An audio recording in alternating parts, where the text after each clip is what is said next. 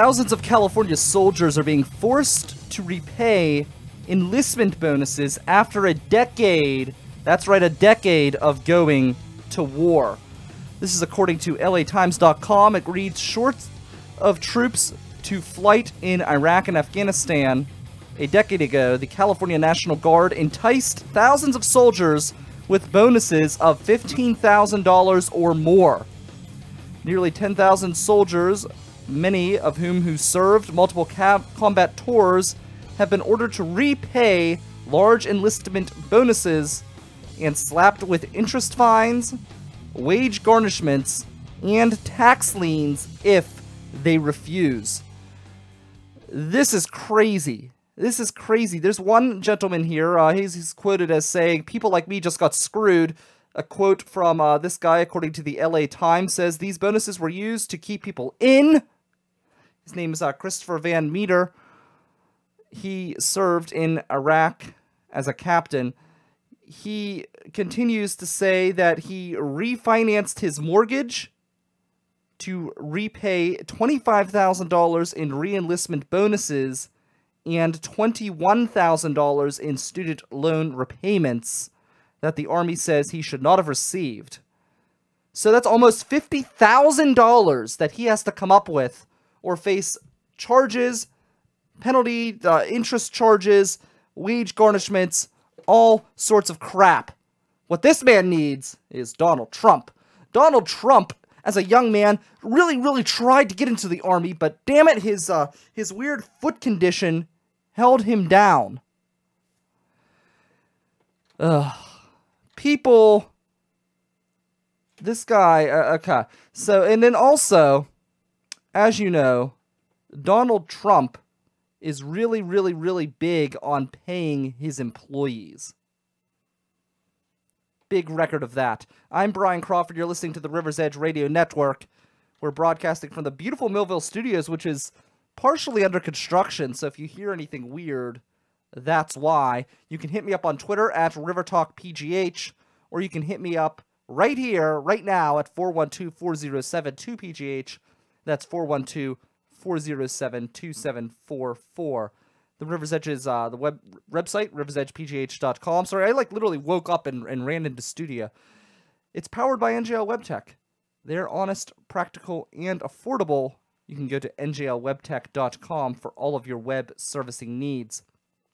It's been like a rough day. I had a bad day at work, and I've been so tired lately, so I decided to, to take a nap before I came in. I missed my alarm.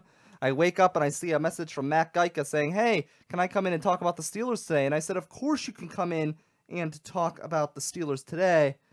I'm waiting to hear back from Matt Gajtka to see uh, what time he will be in, but he's going to come in to talk about the Steelers' loss to the New England Patriots, which was not as severe as I had expected. I thought this loss would be much, much worse, but really it uh, it wasn't nearly as bad as it could have been. We have a an interesting God, uh, Godzilla, yes, kind of a, a gorilla weird news story in the spirit of Harambe. So we've got that coming at you and more. Liz Victory, who's going to perform, he's going to be performing on the political panel November 8th, 8 p.m. at Cousins Lounge with live election results. She was driving around and she saw a weird, interesting house in Homewood, and the house was decorated on two sides.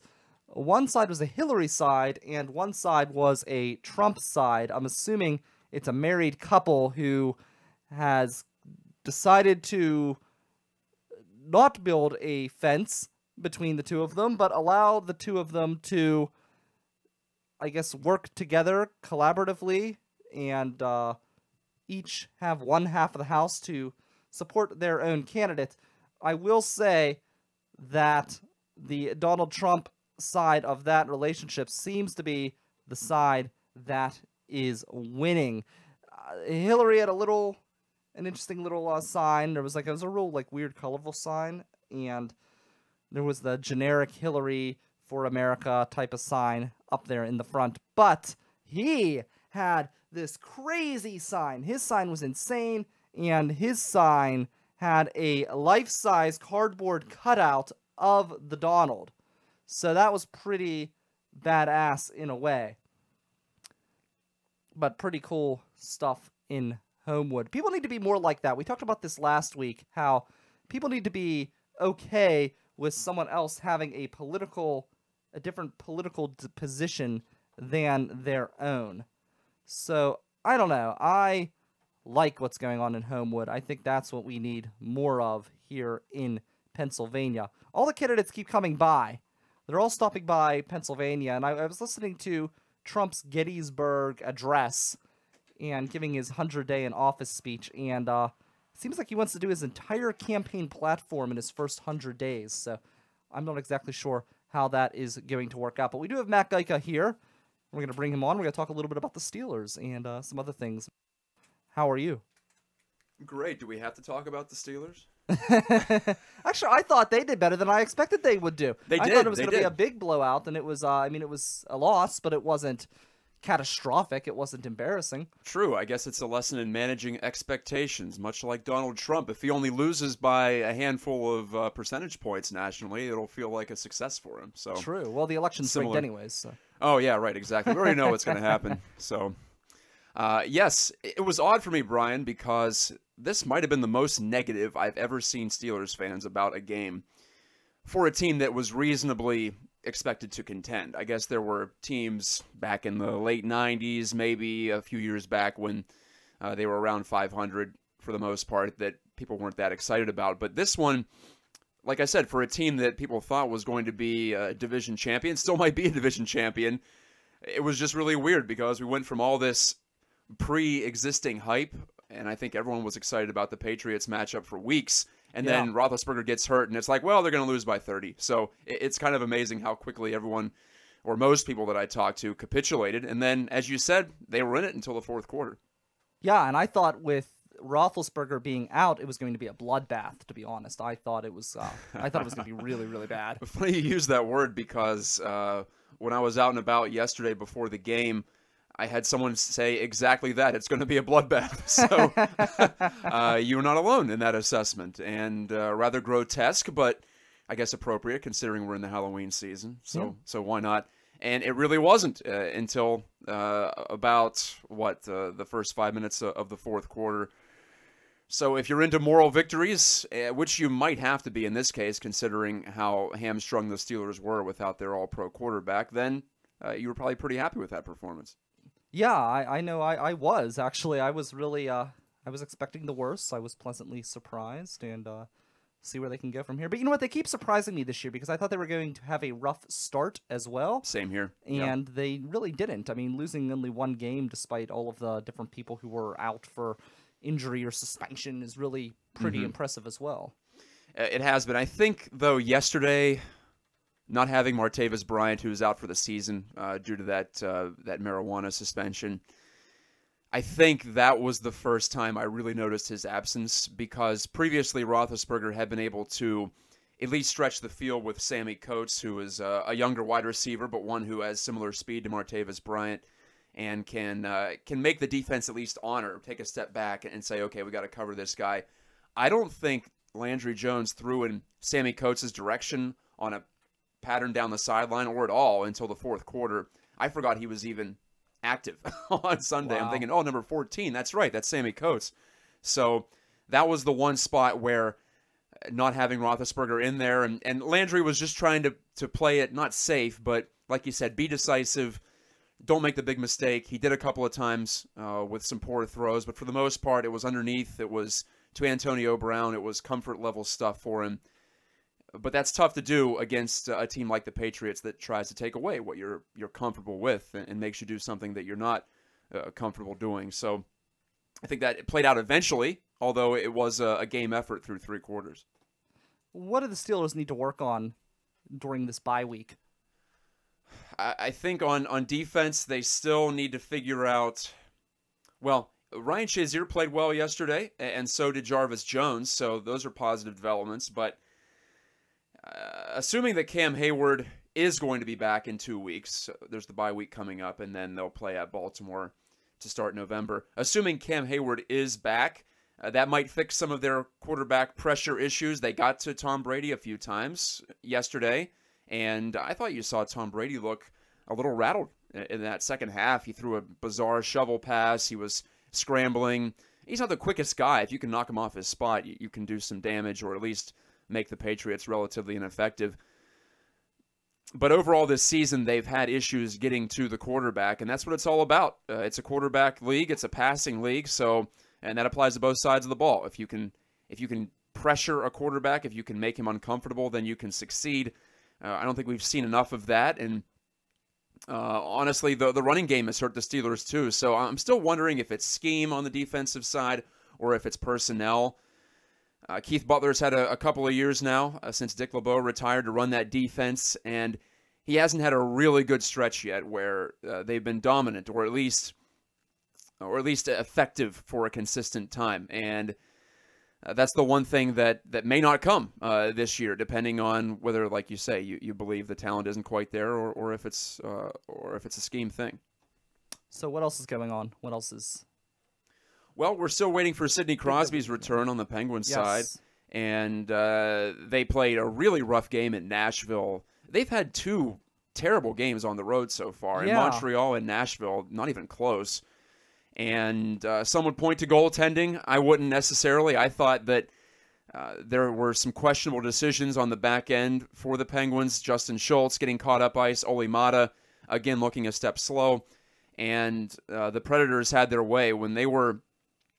Um, when they were able to, to break into the zone with the puck, it seemed to be a two on one or a three on two or a three on one. So uh, those are preventable types of chances against uh, if you're the Penguins. And it comes down to decision making, reading the play, and reacting. And uh, some of the decisions that they've made on the back end with the puck uh, have not been good in these road games. I don't know if there's any kind of rhyme or reason to that pattern, but that's what's happened so far. They'll be at home against the Panthers on Tuesday. Sidney Crosby, we haven't heard yet. This is Monday morning. They haven't practiced yet on Monday. So, from all that I've heard from uh, Josh Yohe, my colleague at DK Pittsburgh Sports, He's been progressing. He's been skating almost every day. He's taken just one day off since the start of the year. So that's a positive. I imagine they'll try to get him into some contact situations in practice. And they'll have, I think, three off days this week. So an opportunity to get him into some practices, which appears to be the only thing that's holding him back from returning. Yeah, I um I'm interested to see how they do this year. And everyone, like you mentioned before, they jumped the goaltending. That seems to be the, the first thing that everybody just it's an easy decision with the, with the Penguins as far as the Penguins are concerned. But it's like the quarterback in football. That's the most visible visible position for. I don't want to say the uneducated fan, but perhaps the the new fan or or the uh, the fan who is a, a, casual hockey follower as opposed to someone who uh, knows the ins and outs of the sport. And th- that's what happens. You're going to have you talk about, well, to tie it into politics again, you talk about low information voters or one issue voters. There are one issue and low information sports fans too, who are just looking at the goalie, looking at the quarterback. Uh, in baseball, looking at the the pitcher, I guess I'm not sure what the equivalent would be there. Uh, but in hockey and, and, football, there's definitely an easy way to go with your criticism or your praise, and, and that's the way that, that most do in that situation. I imagine with baseball, it's probably just your biggest star because I yeah, know, that's that's probably a good point. Yeah, because yeah. because in Pittsburgh, I know everyone likes to to focus on McCutchen. Well, mm-hmm. maybe he's having a down year at, at, certain times, but he can't affect the entire team or you know other teams. I'm sure it's a pitcher if it's a, an all star pitcher or something like that. Right. Well, as I've talked about on on my program on Fridays here. Baseball is the one sport where the star has the least influence because you got to wait your turn in the yeah. batting order. You can't give the ball to McCutchen or give the puck to McCutchen, as it were in hockey and just hope he makes something happen. And you can't, uh, as well on defense, the ball has to come to you. You can't range from center field to, to first base or vice versa. So uh, that is also, you could argue that's the ultimate team sport. You talk about football or hockey, but in those games, you still have teammates or, or players that have outsized influence. But in baseball, you just gotta. It's a democratic sport, man. You you gotta wait your turn, and yep. uh, everyone gets an equal chance to influence the play. Speaking of baseball, who I'm, I'm going to put you on the spot. Who's going to win the World Series? I think it's an easy call. It's the Cubs in five.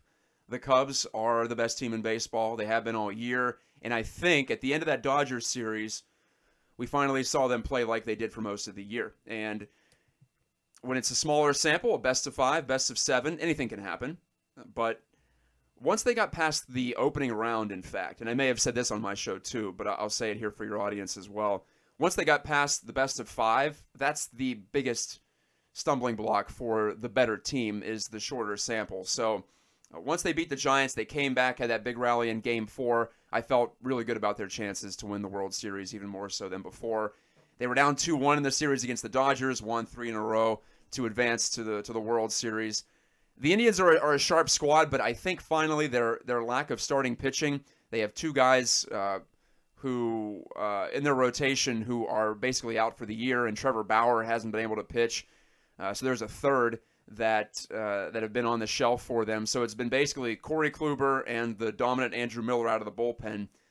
But the Cubs' overall offensive depth, I think one through eight, they can hurt you. I, think that prevails in this series. And even though the Indians have the the home field because of the uh, the All Star game, I have a hard time picking against Chicago. Wouldn't it be crazy though if Cleveland does win and then they Oh, win the World insane. Series Yeah. after they win the NBA? I mean, that'll be that that, that would be crazy. But yeah, no, they, I, they go a half century without a, ch- a championship or more, and they're on the verge of getting two in four months. I guess it would be, or yeah, four months. And we were talking. Remember, you had me in on this show right after the Cavs won, and you Yes. said uh, Mike Breen of ESPN said Yes, Cleveland is yes. the city of champions once again, and I said, you know, that's a pretty fun call for him, and you were saying, well, it's a little early, and I agreed with that, but they will be the city Mm-hmm. This of be it, champions. yes. they will have Cleveland will have two bef- uh, since Pittsburgh had its previous one. Yeah. If the Indians do win, so that blows your mind, doesn't it? which really also says something about us since it was really only a few months between Sure, last and- one in our And Pittsburgh doesn't have a basketball team. Well, so, true, yeah, true. That's a little That's true, unfair. very true. but it will be wild and uh, strange times. And the Cubs haven't even been this far since '47. So uh, that's or '45, pardon me. World War One or World War Two rather was still going on, and they haven't won a series since before World War One. Wow. That's all you got to say, right? Yeah, I was watching a, an interesting little thing they had on the news about the Cubs talking about all of their bad luck over the years, and apparently an, an actual black cat Yes. made its way onto the field, and I'm thinking. My goodness, like, how does a black cat even make it into a professional baseball stadium? And what kind of luck do you have to have to be the one team that has that cat appear and walk across the field? Right. All, the talk is about the curse of the Billy Goat, and if you want to look that up, you can. It's goofy. Uh, but the the black cat thing might be the the most impressive part of, of that curse, if you want to call it. That was in '69. The Cubs had a big division lead against the Mets, and uh, during the the span in which they blew that lead late in the season, that's when that black cat r- walked in front of Ron Santo, one of the Cubs stars, in the on deck circle. I believe it was at Shea Stadium. Uh, so.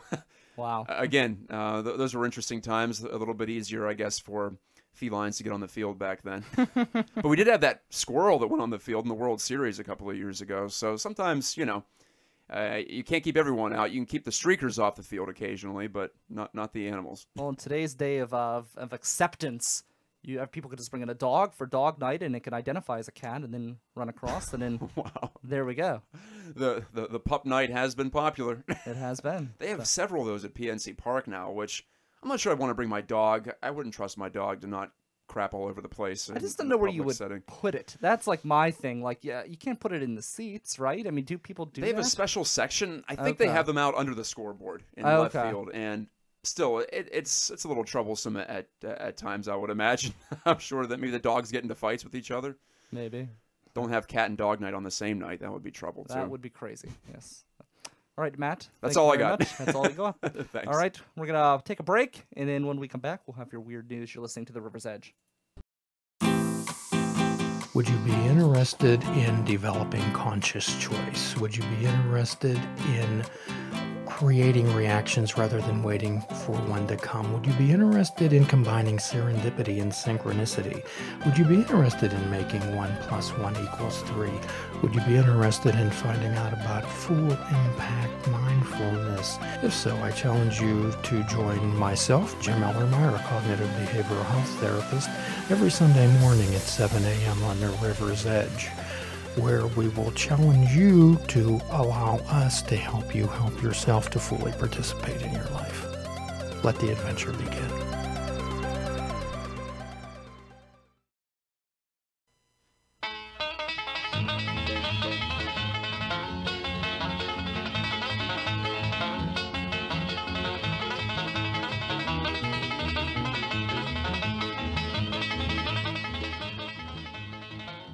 So a zoo in London has gone bananas. A 400 pound gorilla, Kumbuka, escaped from his enclosure at a London zoo on October 13th, and apparently he was uh, he was walking around. Some armed officials showed up, and they were ready to contend with the mayhem, according to the Huffington Post. But he wasn't looking for trouble. I guess he was looking for a syrup. They caught the ape chugging a giant thing of sugary syrup. So, uh, more ape business. Apes are like going crazy now between Harambe and now this. I love the memes that are going on with Harambe. Have you seen the Harambe memes? They're fantastic. There's one meme out there that uh, actually it was an event that they had, which was jumping off the Clementi Bridge for Harambe. People were just going crazy over this whole thing, and uh, I think it's hilarious. It's great. It's uh, it's it's good stuff dealing with Harambe, and I just think it, it shows that the nation, we as a nation, have determined and realized kind of how silly a lot of this Harambe business is. Yeah, I mean, it, it sucks, it's sad, it's important, but it's definitely funny, it's entertaining, and uh, I say keep it up. Keep fighting the fight for Harambe. The Pittsburgh Symphony, the strike is starting to really affect the symphony overall now, and it, it kind of brings up an interesting situation. And I, I don't fault the musicians for striking, and I'm never going to fault someone for fighting for the best contract that they can get, but it's now starting to hurt the symphony in the pocket. And the symphony itself is already struggling. That's one of the reasons why they don't want to to pay more to the musicians. And if your strike ends up destroying your employer to a point where your employer can no longer pay you anyways, then maybe the strike is going a little too far. I, I feel for them though. I do. In my job, I'm bound by a union contract and I'm considered a new employee. And a new employee, up until now, we didn't uh, get any benefits whatsoever. We didn't get the, the pension plan. We did not get paid holidays. We made less money than someone who got converted to what they call a regular status. So I can understand where these people are coming from in the symphony. And I don't know, I, I hope they can come to a speedy resolution because it's really it would be a real shame if it gets to a point where the symphony itself becomes a shell of what it used to be. I love going to the symphony, and I don't know what the, the answer is to attracting new fans, new new people to who will go to the symphony and enjoy it for what it is. I know they've been trying to do things to become more modern. They try to to bring in modern music and have the symphony play to modern songs and things like that. But personally, to me, uh, that almost takes away from what the symphony is. To me, when I go to the symphony, I want to I want to listen to all you know to the old stuff. I want to listen to Mozart. I want to listen to Beethoven. I want to listen to uh, you know my favorite song is Concertino for four percussion, which oh that song is awesome. If I could play that song for you, I would. I don't know if I have the. I guess I could play a, a little clip. Let's see if I can play a little clip. Concertino for four percussion. I can play a little clip, and uh, let me see if I can just bring it in somewhere in in the middle of the song because I, we can't play a lot of it.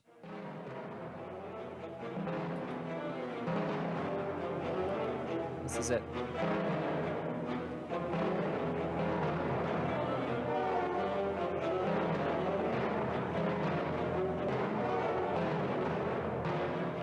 But this kind of stuff here, this is really, really good stuff. And I don't want to see this type of music chased away.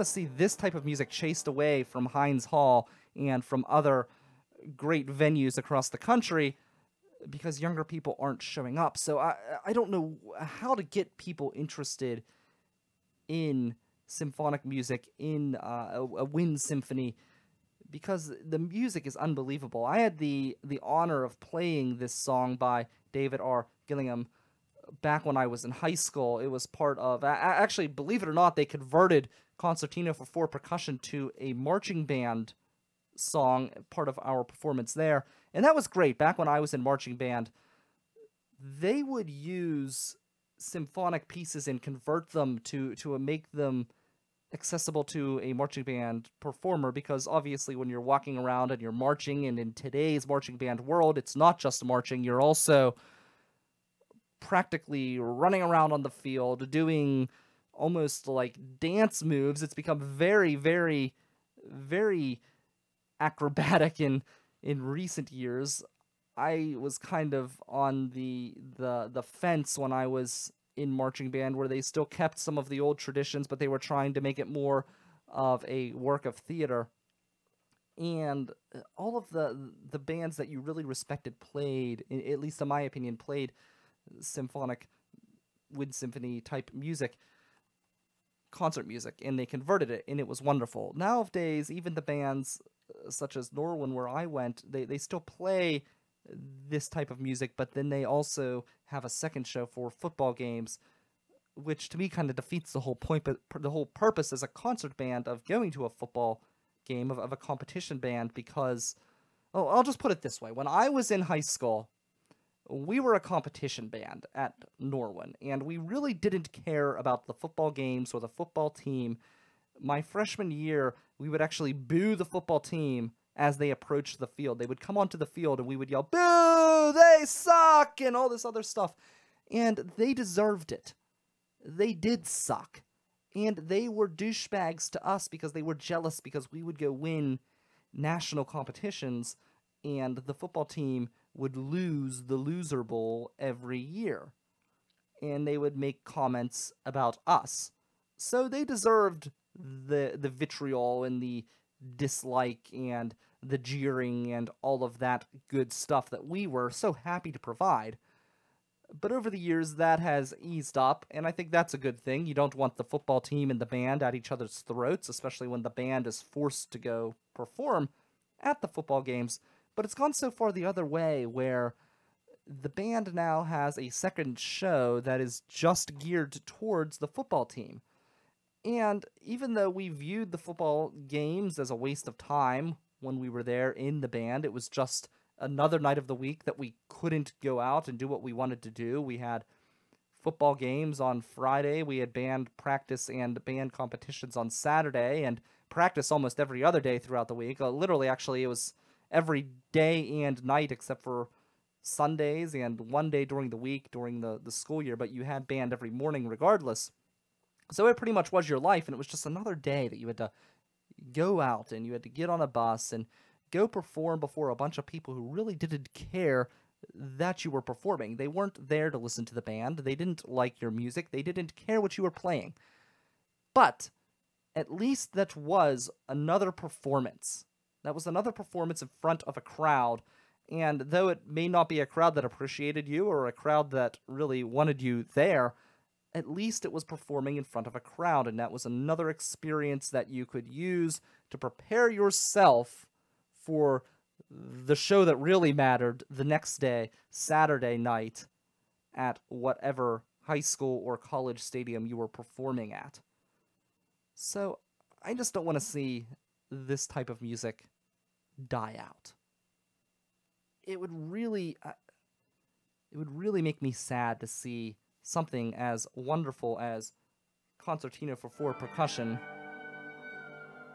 die out. And this song was so cool because this particular song, if you played it from the beginning, there's really a, a, low moment. It's a very silent song through much of it, and you really have to pay attention to hear what's going on.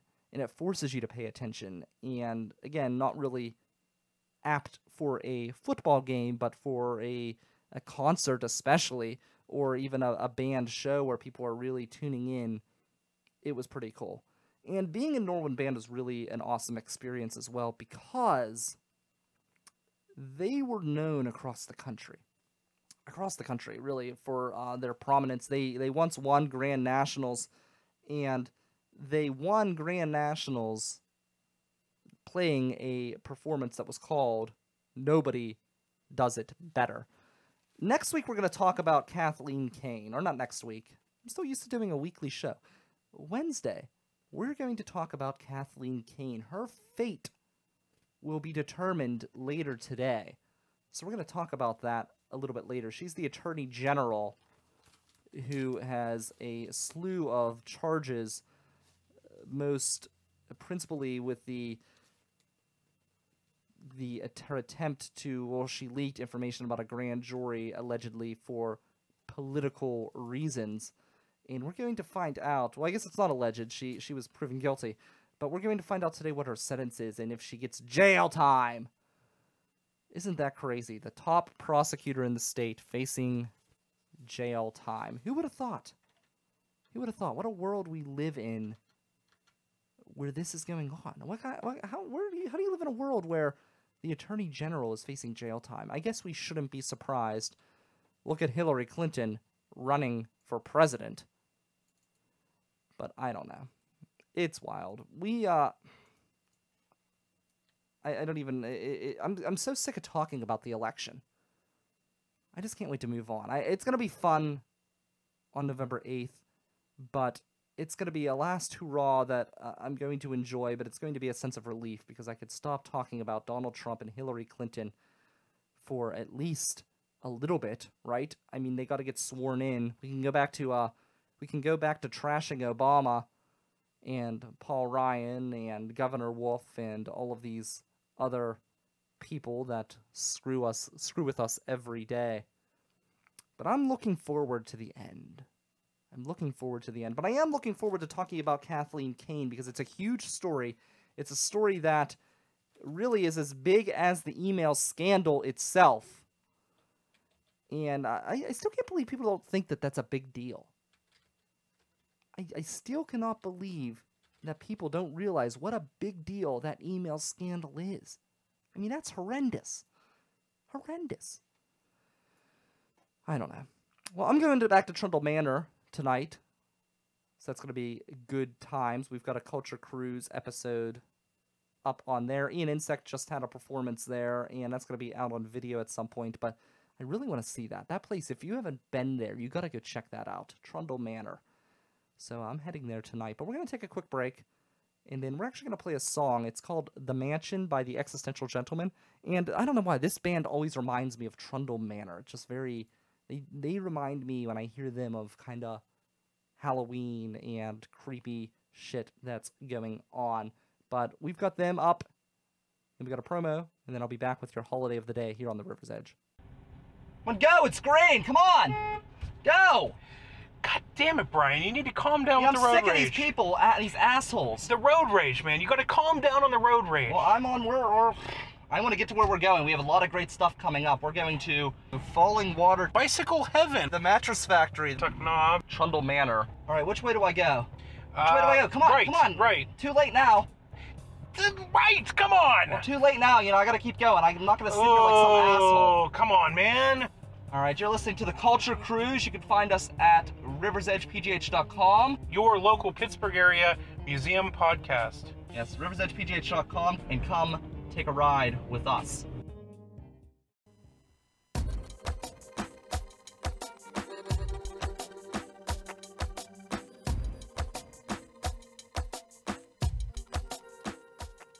So today is actually 40 hour work week day. Today is the day to celebrate a 40 hour work week. Does anyone actually have a 40 hour work week anymore? I feel like people are either severely underworked or overworked. Like where I'm at, I could be working a 12 hour day on a whim. No notification. You just come in and it's like, hey, guess what? You're here for 12 hours today. And I know so many other people who have to work like two or three jobs just to make ends meet and try to get to that 40 hour work week. The other day at work, someone told me when I came in that I looked sad. And I responded, I'm always sad when I come to this place, this hellhole, this rat's den. That's the world I live in. Does your job suck? Tweet me at River Talk PGH. I can't wait until all of this, the River's Edge, takes off and I can just quit my job and then just do this for eternity. That would be fantastic. Don't forget, Cousins, November 8th, we have the election night party. And it's also going to be live election results. We'll have that for you live. We have an elite panel. We're going to give drop little bios of the panel throughout the week, throughout the coming weeks. But we have List Victory, Mike McMullen. We have our friend Sean Logue, Aaron Watson, and of course, Brian Crawford, your wonderful host, the sexy voice that will get you through the evening. But I do have word, this just now posted in Facebook on the Facebook election night page, that Cousins Lounge will be serving up $2 PBR pounders, $5 12 inch cheese pizzas, and if you bring your voter's stub in, you will receive $1 off your first drink. So get out and vote and then come drink with us at Cousins, 8 p.m. on election night. Mike Sassen's in tomorrow, 10 a.m. here on Pittsburgh's Voice for Local Music, the River's Edge Radio Network.